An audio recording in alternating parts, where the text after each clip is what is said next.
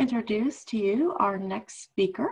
Uh, we have with us Dr. Mary Beth Happ. She is a nursing distinguished professor of critical care research and the Senior Associate Dean for Research and Innovation at The Ohio State University College of Nursing. Dr. Happ is an NIH funded critical care and aging researcher with more than 24 years of external funding support, Happ built a program of interdisciplinary practice-based research focused on improving care and communication with communication-impaired patients, families, and clinicians during critical illness and at end of life, particularly with patients receiving mechanical ventilation. She has specialty expertise in gerontology and critical care. Dr. Happ led the NIH-funded study of patient-nurse effectiveness with assisted communication strategies that developed and tested a multi-component intervention to improve communication with non-vocal mechanical ventilated patients. She also serves on the editorial boards for Heart and Lung, the Journal of Gerontological Nursing and Geriatric Nursing, and has authored more than 190 journal articles, editorials, uh, invited papers, published abstracts, and book chapters. So in recognition of the impact of her program and research, Dr. Happ was selected by the American Association of Critical Care Nurses to present the 2021 Distinguished Research Lecture. So Dr. Uh, Mary Beth Happ, thank you so much for being with us today. I will go ahead and um, stop and you can go ahead and present your slides. Thanks so much for that introduction, Nicole. And I'm very happy to be here today with all of you and to share this time with you. My purpose today is to speak about communication techniques and strategies for the caregiver and patient.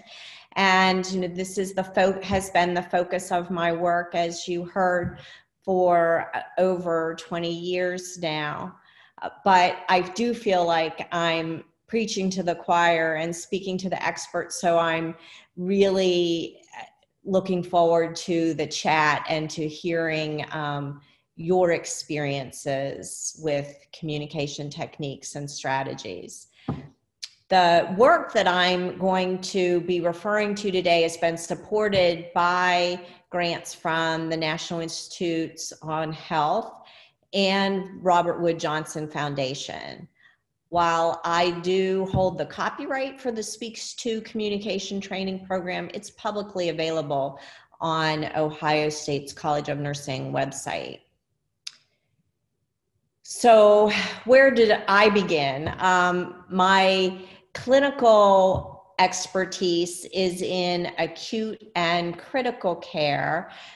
And um, one of my most memorable patients was a young man with Duchenne's muscular dystrophy. His mother, as caregiver and advocate for him in the hospital setting, taught me a great deal. My research, as you've heard, has been about discovery and intervention development um, around this persistent problem of communication difficulty that patients experience in a variety of ways, certainly in critical illness with respiratory tract intubation. Um, the inability to speak is profound. But patients have other kinds of acquired communication problems, and they bring with them their communication uh, challenges. If it might be hearing or vision impairments or a past stroke. So, um, this has been a, a passion of mine. I also have personal experience as a caregiver well into um, my career in research in this area. My husband developed a neurodegenerative disease, glioblastoma, um, which is brain cancer. So I found myself using many of the same strategies and techniques um, as I'm going to be uh, speaking with you about this afternoon. And so, what are the underlying principles? all behavior has meaning and therefore is communicative. And we accept that in the animal kingdom, but kind of forget it with our human friends. All patients have the right to communicate with caregivers to the fullest extent possible. And here are that this precept or principle is supported by Joint Commission, which is the accrediting body for hospitals and rehabilitation facilities. And you can see from, I pulled out a couple of items from their checklist around advancing effective communication and um, the identification and addressing of communication needs is uh, supposed to be happening both during assessment, treatment, and the monitoring of changes in patients' communication status. And addressing communication needs means offering accommodations and communication support. And communication, we know, is a two way street, it's a two way interaction, and it's multimodal. As you've been attending this seminar today, you are um, both seeing visuals and word and written words as well as the audio and and a few gestures as as you're even seeing the speakers. And so expecting patients to just um, get our messages as we talk at them is isn't fair so um, providing information in a variety of modes and making sure that they understand our messages as well as accommodating their special needs at, at, delivering messages is important. So, what are some of the challenges? Well, a big one is in misinterpreting and misunderstanding uh, messages. Some examples include uh, the patient who is mouthing words, has a tracheostomy and is mouthing words, and um, the nurse interprets it as a request for pain medicine. So, pain. However, the patient is asking for pants. You can understand how that could be confused. Look in the mirror, pain and pants look really similar.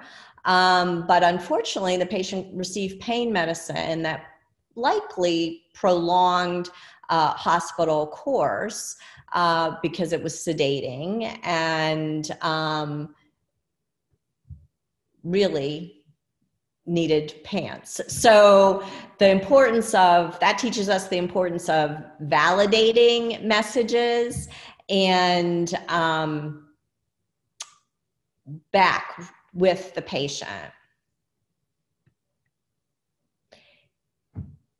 Currently, and for who knows how long, protective, personal protective equipment, PPE, also is a challenge as we're unable to use the cueing of full facial expressions and uh, a person's speech to uh, understand what they're saying, both for the provider and the patient. So locking eyes and making eye contact and facing patients um, and and for the patient your provider is very important.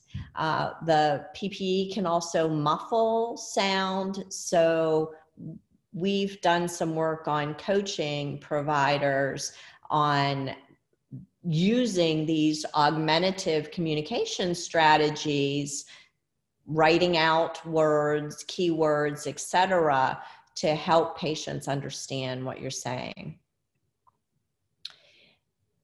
Another principle is that communication abilities change. And so we need flexibility, um, multiple resources at the ready, and a plan. so I think your previous um, speakers talked about planning for healthcare encounters, and that may that might mean um, communication um, plan and um, written out sorts of messages, as well as planning for change um, in communication abilities. Either so, there are temporary changes, um, particularly during acute illness, that it's really good to have um, some plan or even practice in place. And caregivers are absolutely the communication partners for patients. And that takes a variety of forms, including uh, assisting perhaps in in pointing or use of devices and um, communication tools and strategies.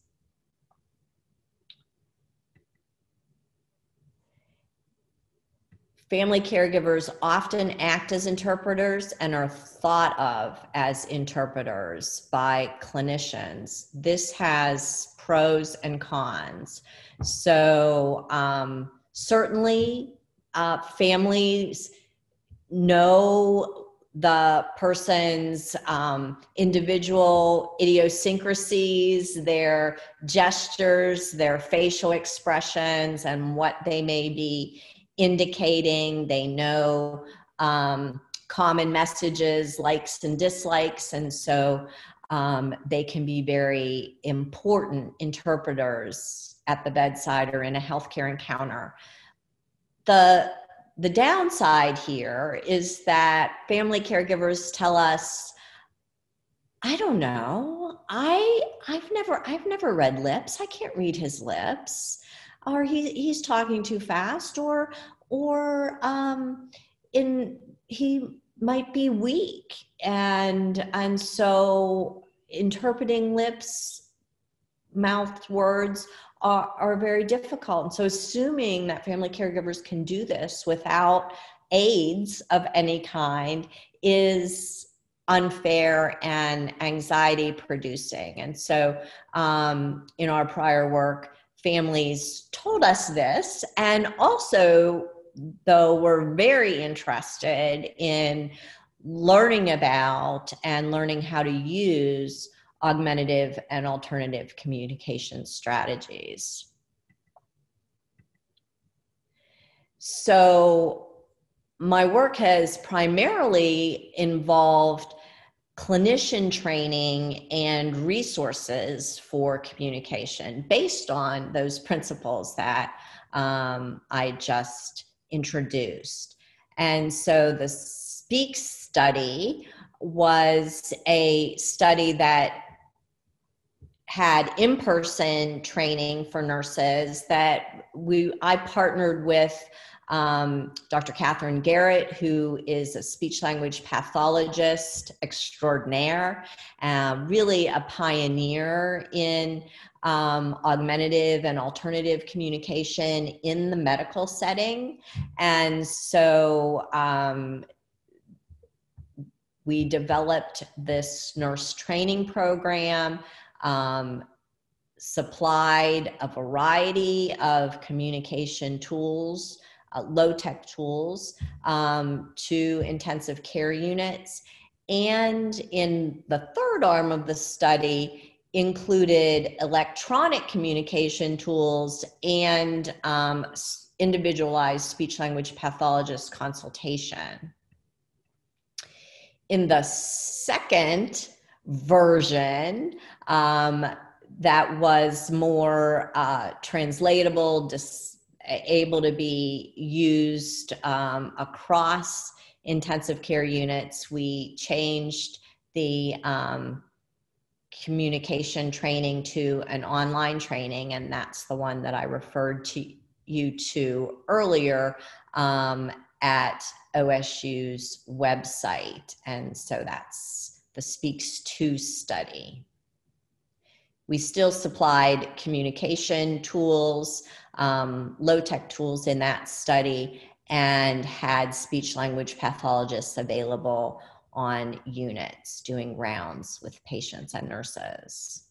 So the results of the, the SPEACS study, the original study, were that we showed greater communication frequency, back and forth communication. Um, and we did this by video recording nurse and patient communication um, for 89 dyads across um, three different groups and we showed an increase in successful communication about pain and other symptoms. So these last two groups, these last two bar uh, columns um, in the graph are the intervention groups, the test groups. In this last group, where we had electronic uh, communication devices and individualized um, speech language pathologist consultation, the patients reported significantly less difficulty with communication in and greater use of a variety of tools. So, what were are those tools and techniques? Um, this is the formal definition of augmentative and alternative communication, AAC, and I would um, commend this website to you um, for that's a great resource on all things AAC. And I just can't emphasize enough the um, the critical role that the speech language pathologist plays in assessing the patient, um, providing communication tools and techniques that are targeted to the individual's ability, and uh, uh allow for this accommodation of maybe some waxing and waning of communication ability. And so that includes um, trying out strategies and devices that are both low tech and electronic. Um, and then really providing a, a, a written care plan so that everyone can follow it. And it's also important to have the speech language pathologist model those behaviors to nurses and family and other members of the team because it seems like okay this little sh- communication board sheet and an alphabet board is um, it is what it is. There's there's no training that needs to be involved. But actually um, there's a right way and a wrong way. And um, so using the experts is can make the difference in whether a technique is successful or not. I also highly recommend this website, the Patient Provider Communication Network. This is a group of speech language pathologists and disability advocates. Um, I am part of, of the forum, and they have downloadable resources, communication sheets, and boards. Um, they discuss patient provider communication across the healthcare spectrum. And as, you've been talking about, um, I think uh, this morning, and communication planning. So it's a great website. So, the first part of that two way street in patient communication is supporting the patient's understanding of our message. And so, these are the, steps in doing that uh, that we teach nurses and are certainly good for for everyone. I think um, keeping sensory aids at the bedside, glasses, hearing aids, hearing amplifiers seems like a no brainer, but sometimes it is. Uh, it's going against policy to wh- where these um, items are sent home with family members when really that further impedes um, the patient's ability to communicate. So we advocate that those um, are present at the bedside.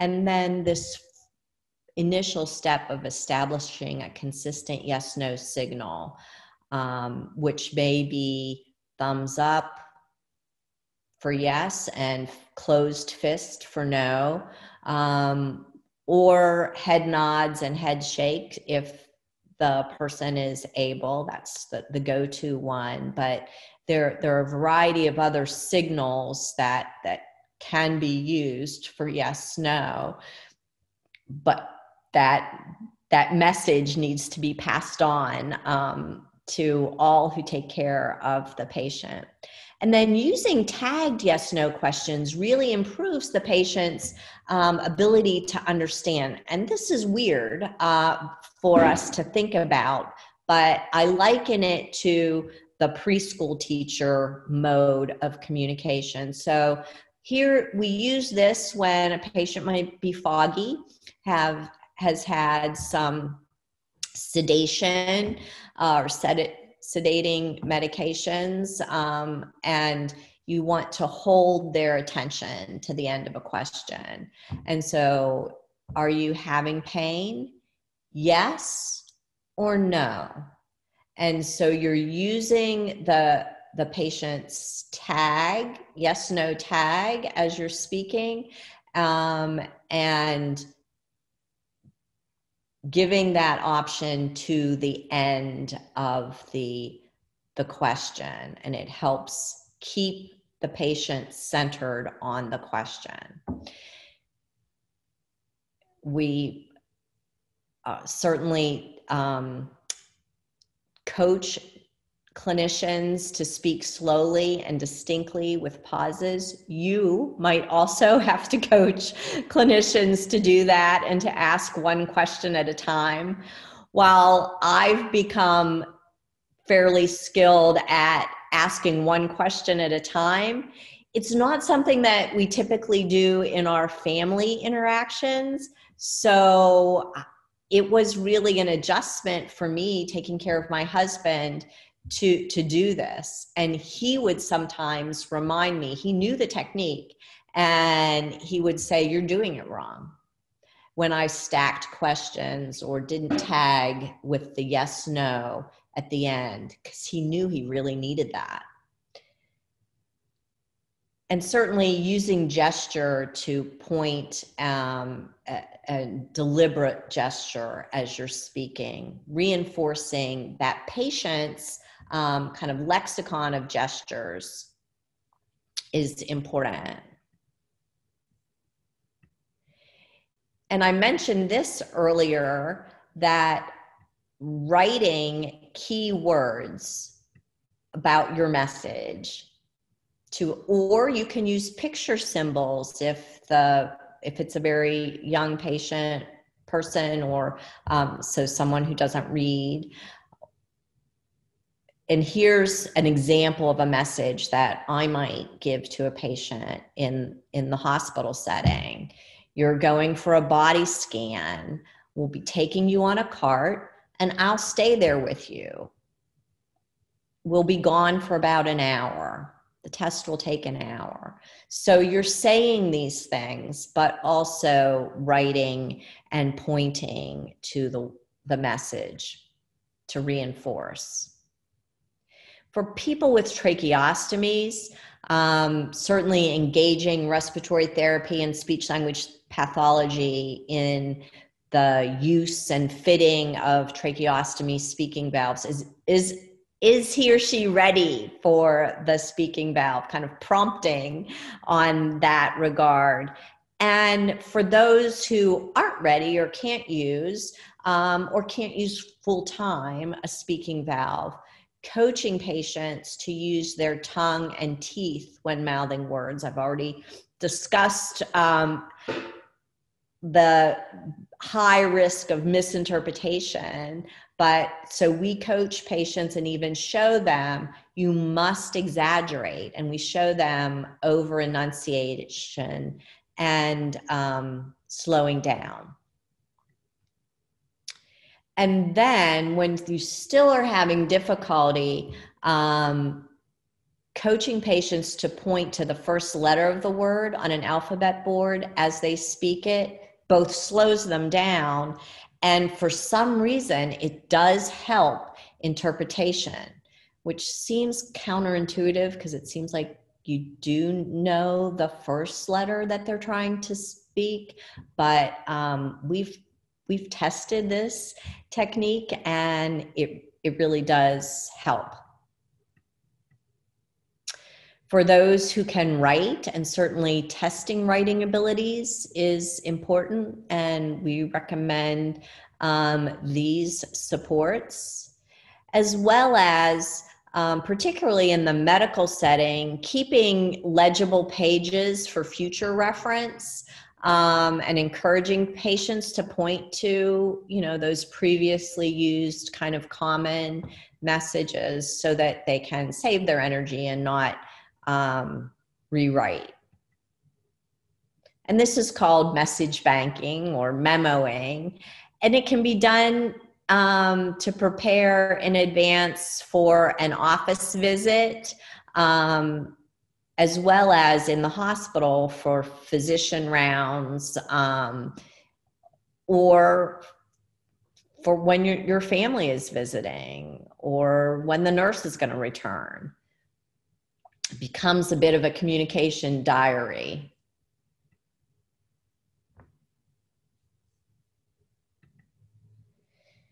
And so here are examples of communication boards, and they range from very from the letter board um, and, and very simple boards to more complex.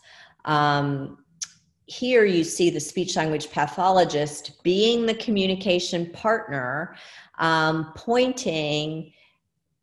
So this is would be a patient who can't point.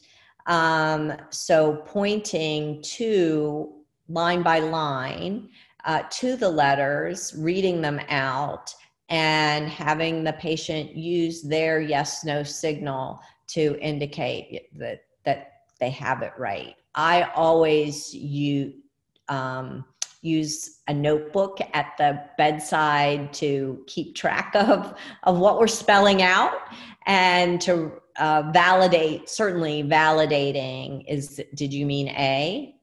Um, as you go.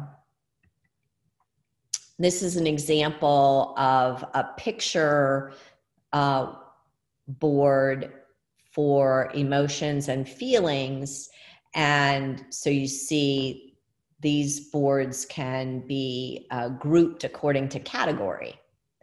And then there are commercially available boards that are um, a little more com- complex.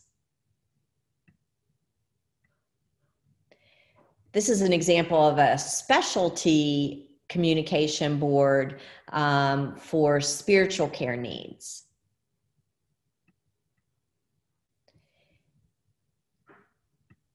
Also, um, we can individualize and make families can um, create small boards or pictures uh, with phrase picture boards with phrases and common messages you can use sticker symbols, um, cardstock paper, and markers.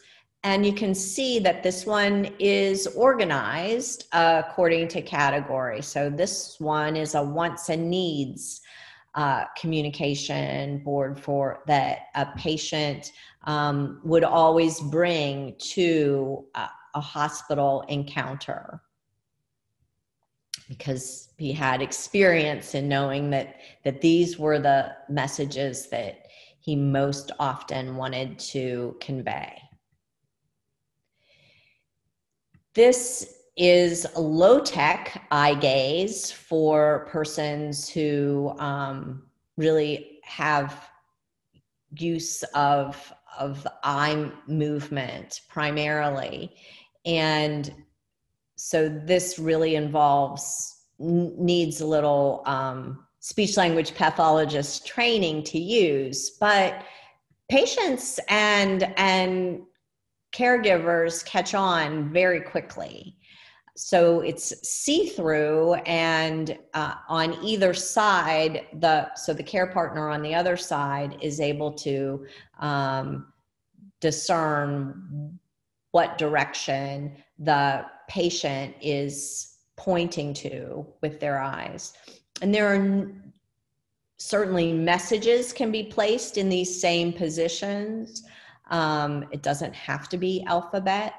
Notice that on this board and other and the alphabet board uh, this important these control phrases of no you got that wrong. Let's start over let's use something else is also important to have on a communication board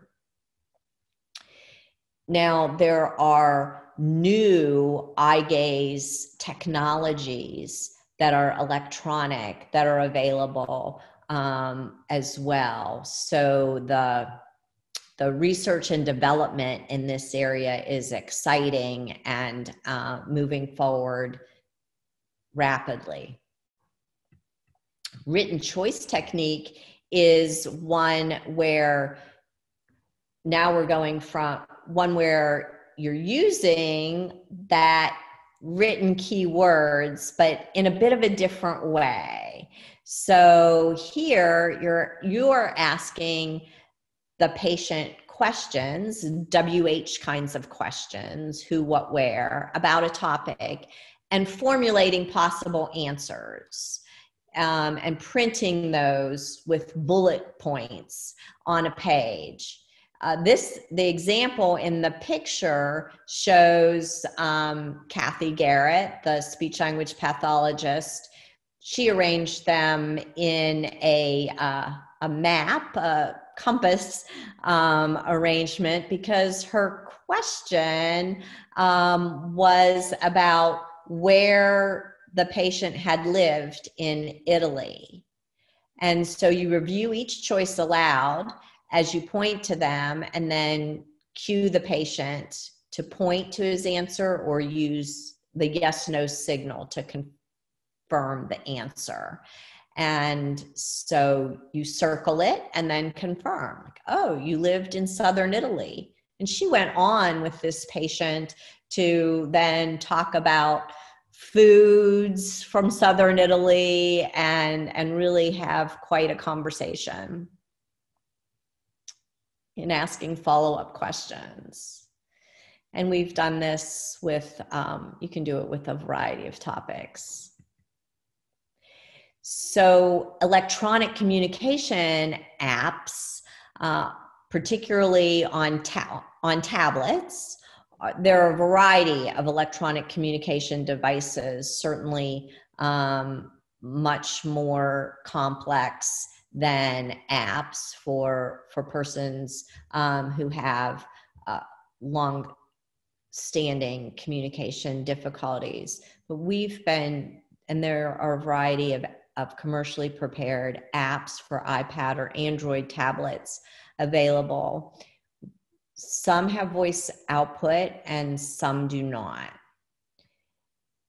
i've worked with Vidatak company. I have no interest or remuneration from the company, um, but have just served as a research partner to um, do the iterative, user centered kind of development of an app for electronic tablets. And it's called VidaTalk.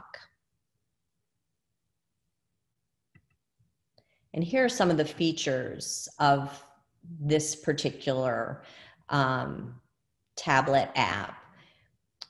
Word picture icons for common messages, pain location and rating. You can see the, the menu of categories um, along this side of the face page of the app. Keyboarding, finger drawing page and voice output for everything but the finger drawing. It also com- is available in different languages. So I'm just going to share with you real quick a portion of right. a test for a, a patient who was unable to speak in the ICU. I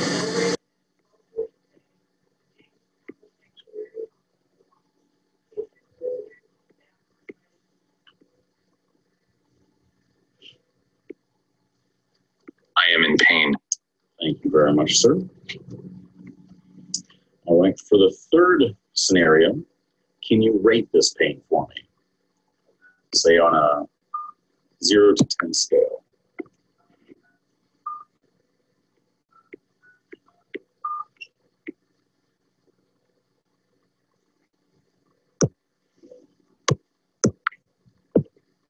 My pain is a 10. Thank you very much. All right, this is patient two zeros. Okay, so that's just um, a quick example of how the person navigates the um, the pages and that sidebar menu uh, to elicit the the message. My doctoral student Jiwan Shin followed um, family caregivers of the patients that we enrolled in a clinical trial with the VidaTalk. And so she performed some interviews with um, family members who had received, whose patient had received the VidaTalk app. And the the description that they gave was of an opening up of communication between the patient and their family. And so here is um, a quote her by a husband. Her ability to use the tablet opened up communication that was the beginning of a more healthy attitude aiding her recovery.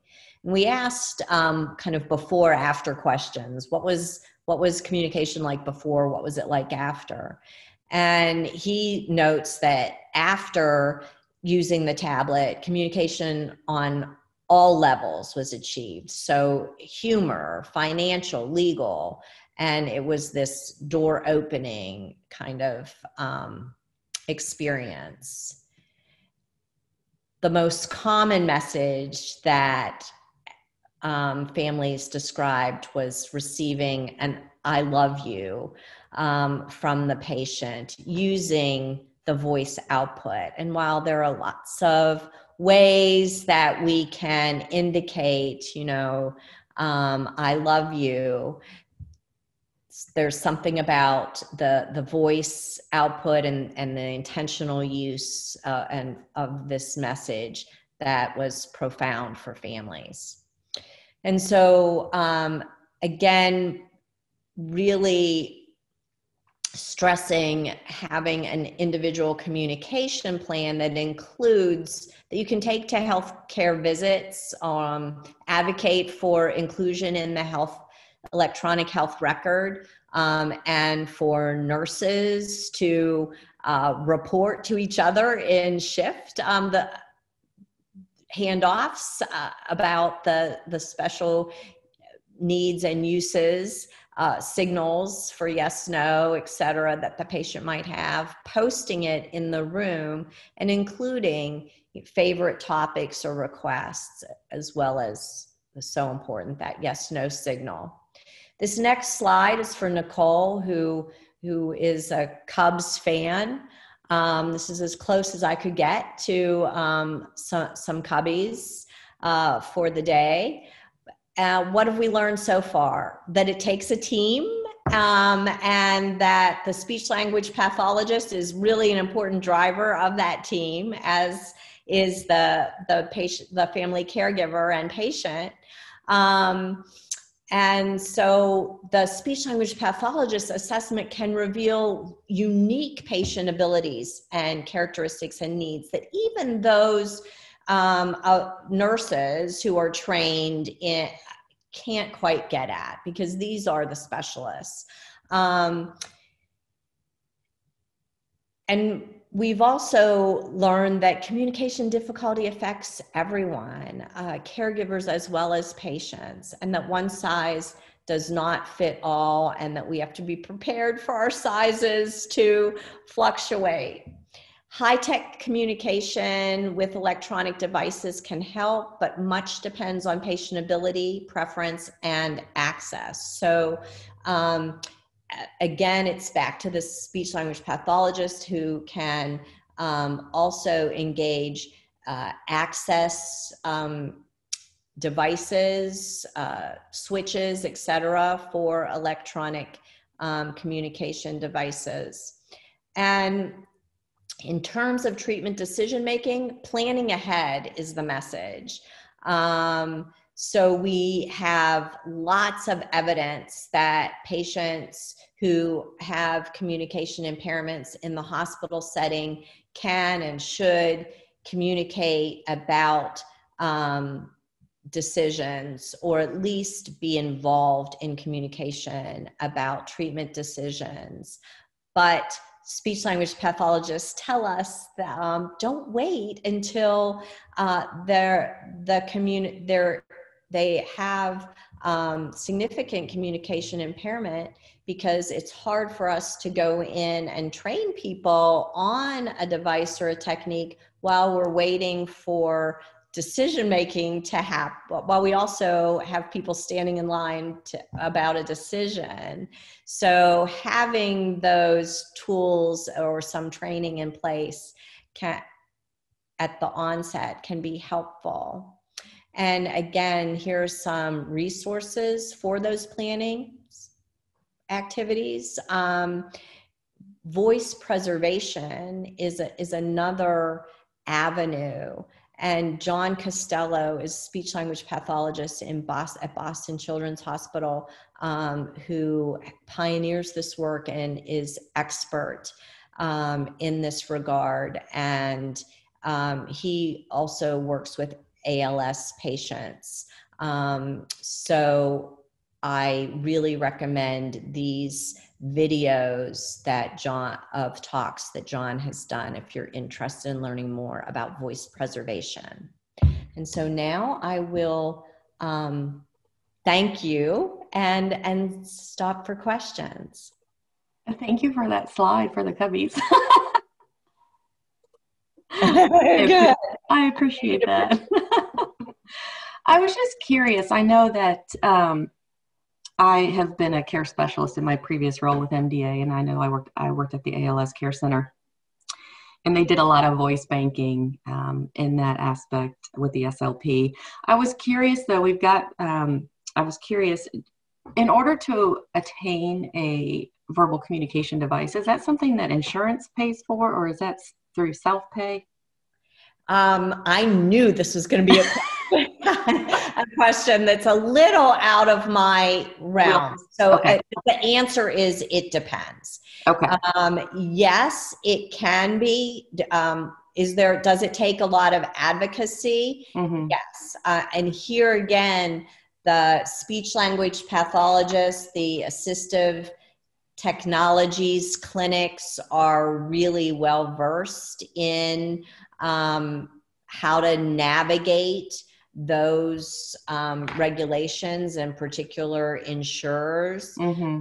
um, and some you know some devices that are are very expensive. Some devices mm-hmm. and mounts are you know upwards of seven thousand um, dollars you know the ipads and ipad apps much less but what about the conversation boards? Where could someone purchase those? Is that an Amazon purchase or do they have to go to a medical supply company? Um, you can Google it. It usually it's through so like the um, the Vidatak mm-hmm. um, company. So you Google Vidatak. Okay. E I D A K dot com, and they have boards, those medical communication okay. boards. Um, I don't know if you can buy a single one, but you can query them. hmm Um, we usually buy them in bulk. They're like nineteen dollars. But the the website that I gave, the Mhm. Patient Provider Communication Forum, has the printable sheets, and I, I'm glad you asked that question because I meant to show that Okay. um, we print out and put in just plastic provider, you know, plastic sheet protectors on, and a binder ring. Some of these kinds of you know, downloadable boards, and you can imagine printing them out and then like having them to grab and go Uh-huh. or medical appointments or you know so what if there's an emergency and, Exactly. and you have to call an ambulance and now your communication isn't so good because you're in pain or something Mhm. I mean, I, I personally had that experience not too long ago. Grip, gripping pain where I couldn't really talk. And um, I should have known that these were in my closet. and I couldn't get to them. Well, I couldn't get to them. But anyway, um, so this, and the, they can be individualized. So that's kind of my suggestion in terms of planning. I can see that being really, really beneficial for students, especially, you know, grade Yeah. school, middle school, even elementary school. Um, to send that with them with their if their caretaker does go to school with them or even you know keeping it at school in the nurses station or something like they that that's tie a great it they tie it on wheelchairs Yep. and yeah absolutely i think that would alleviate a lot of anxiety from parents too when they do send their kids to school. Um, at least they would have that method of communication. That's really yeah and it's a it's a backup. Let's say the person does have an electronic device but you know something goes wrong or the battery Mhm. runs out or um, so we really advocate the low tech backups. We had someone um, comment laminate those because that would be the best Yeah. option Yes. definitely laminate them yes you absolutely can do that Perfect. Thank you very much for being with us today. A lot of great information, and I will include that website on our post-event email to everyone that uh, that viewed our session today as well. good thank you Thank you.